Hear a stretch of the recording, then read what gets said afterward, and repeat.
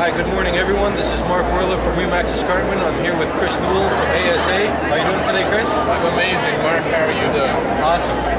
Chris, what do you want to tell everyone about the uh, ASA program?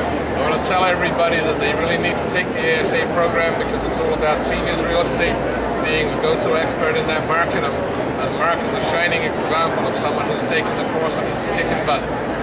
All right. Hope to see you all soon. Thank you.